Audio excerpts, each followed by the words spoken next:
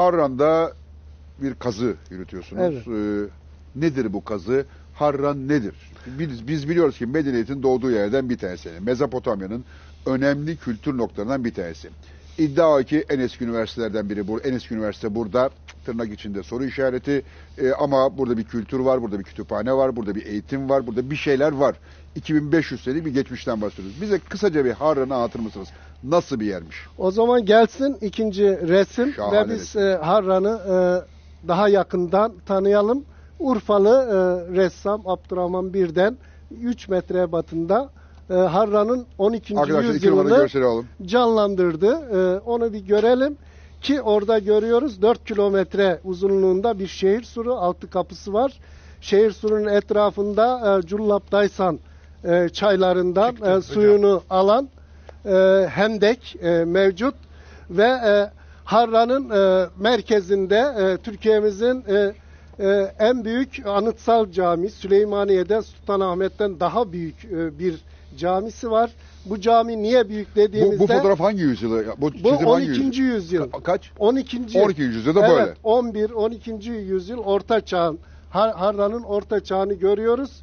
Yine üç katlı yüzlerce odası salonu olan iç kalesi e, mevcut E, ve sur içinde inne atsanız yere e, e, düşmez o derece yoğun bir yapılaşma var e, Harran e, Harran'da. kaç o sırada Harran'da? E, nüfus yaklaşık 50 bin. Yani bugünkünün beş katı. 1272'de evet 1272'de Moğollar yakıp yıkıyor ve 2-3 katlı binalar kendi üzerini örtüyor örtüyle. Şu an nereyi kazsak 4 metre 5 metre yüksekliğinde duvarlar kubbeleriyle meydana çıkıyor ve e, ben üçüncü resimde gelirse Hocam oraya gelmeden Moğol komutanı kim? Baycu General mi? Yok e, Moğol e, önce bir Hülagu kuşatıyor 1260'da. Bizzat kendisi. Alamıyor Hülagu'nun bizzat kendisi kenti. E, iki ay falan kuşatıyor alamıyor.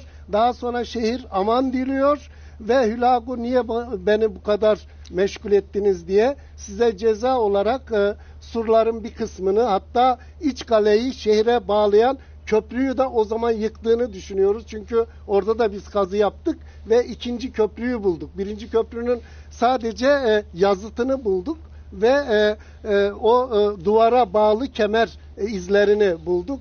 Dolayısıyla e, Hülagu e, daha sonra Antakya'ya doğru gidiyor. 1272'de Ayn- Ayncelut yine aynı yıllarda Memlüklülere karşı Moğollar savaşı kaybedince bölgeyi ellerinde tutamayacağını anlıyorlar ve daha sonra 10 yıl sonra 1272'de Abakahan İlhanlı olarak Abaka geliyor. Abakahan geliyor burayı yakıp yıkıyor ve e, e, yakaladığı Harranlıları da esir edip Mardin ve Musul'a gönderildiği ifade ediliyor. E, o, o e, şeyde e, Hocam Moğol şimdi siz başladığınız zaman siz orta çağda başladınız. Bunun daha eskisi yok. Harran bildiğimiz Tabii, kadarıyla benim tabii. bildiğim 2500-3000 senelik yani milattan önce 3000 lira kadar giden bir medeniyet. Daha da Burada önce kim var? e, kazılarda kazılarda e, Samarra ve Halap Halap çömlekleri bulunmuş. Milattan önce 6000'lere Oo, o tarihleniyor. kadar gidiyor. Yani e, kalkolitik dönemden bile e, 500 daha e, 500 yıl daha önce e, dolayısıyla o e, o zamandan beri e, yerleşim var e, Harram'da ama asıl önemi Tunç çağında. Çünkü e, e, Hocam Tunç Çağı'na gelmeden şunu bir şeye oturtalım. Ee, çerçeveye oturtalım. Evet. Bu kutsa şey e, bereketli hilal hikayesini. Ben sizden rica etsem onu sevgili seyircilerimize şu bereketli hilali bir takdim etsek. Çünkü Harran onun bir parçası o zamanlarda. muhakkak. Değil mi? İster misiniz? Tabii tabii ne demek. Efendim e, zaten e, Mezopotamya iki nehir e, arası anlamına e, geliyor.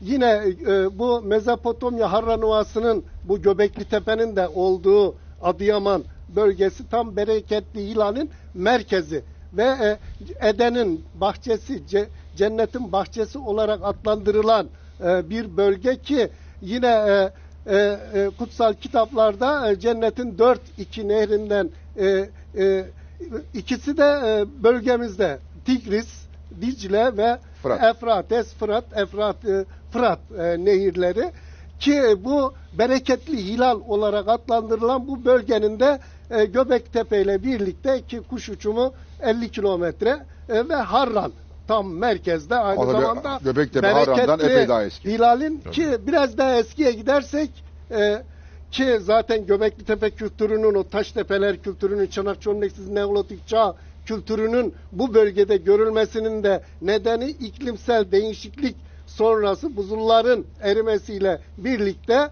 bölgede iklimsel değişiklikle Hocam bir dakika birlikte şimdi seyircilerimize buzulların erimesi dediniz onu O bile zaman ama. siz anlatın Hayır şey ola yani diyelim ki bu Evet.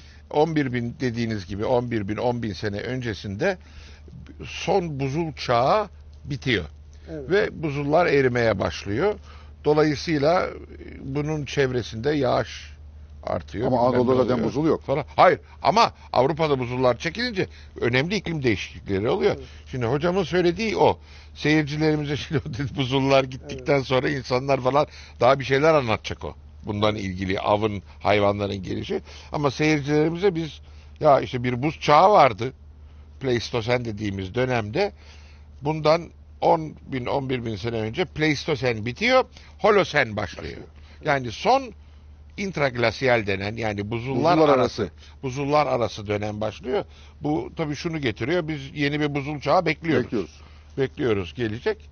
Ee, o dönemi anlatıyor hocam. Şimdi onun girişini anlatıyor. 11 bin 10 bin sene evvel öncesi. Ve e, Kusura bakmayın, Yok kestim yok ne ama. demek çok e, şeyli açıklayıcı oldu hocam. Sevindim.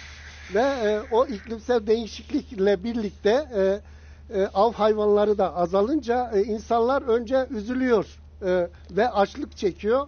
Ama o üzüntü yerini e, sevince bırakıyor bir müddet sonra. Çünkü bu e, Güneydoğu e, Torosların uzantısı Harran Ovası kadar aradaki 70 kilometrelik mesafede tepelikler var. Yani Harran Ovası 400 metre ise rakım 700 metreye çıkıyor. Hatta 2500 metreye çıkıyor. Nemrut Dağı'nda 2150 metre. Dolayısıyla bu Birecik'ten ta Batman'a kadar e, uzanan e, bir bölge ve e, burada e, yabani tahıl yoğun bitki, bitki örtüsü e, ya, e, sebebiyle yabani tahıllar oluşuyor. Bu siyes, emer, e, bakla, baklagiller ve arpa. Dolayısıyla insanlar aynı cennette yaşar gibi e, ekmeden sadece biçerek, toplayarak e, besin e, üretiyor ve arkeolojide orayı da değiştirdi bölge. Daha önce biliniyordu ki insanlar toprağı işlemeye başladı, toprağa sürdü, işte buğdayı e, artı ürün olarak depoladı, e, hayvanları evcilleştirdi. Ondan sonra sanatı, mimariyi, e, e, diğer e, e, eserlerini, e, inancı e, yapmaya başladı diye. Ama e, e, bu bölgemizdeki bu e, iklimsel değişiklik sonraki sunulan insanlığa durum 2000 yıl önce bunun başladığını ortaya koydu. Artı ürün bu yoğun tahıl sebebiyle ta 9000 600'lerden itibaren e, başladı. Hatta Kortik Tepe ben 10.400'üm diyor. Evet, işte Boncuklu Tepe ben 12.000'im diyor. Daha kazılar Taştepeleri de devam ediyor. Yani henüz daha e, soru çözülmemiş. Kazılar yapıldıkça bu sorun e, soru daha da netleşecek.